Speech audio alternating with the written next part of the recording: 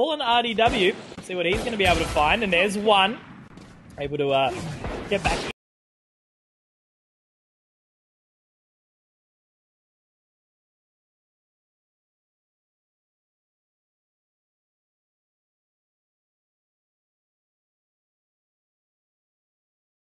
What do you got?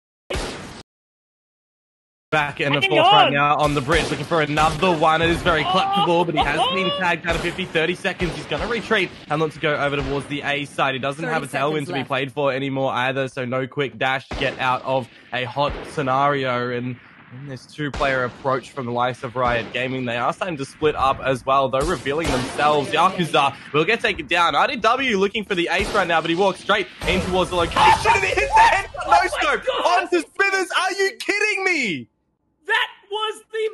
Incredible thing I have ever seen in a meme show match. Reddit.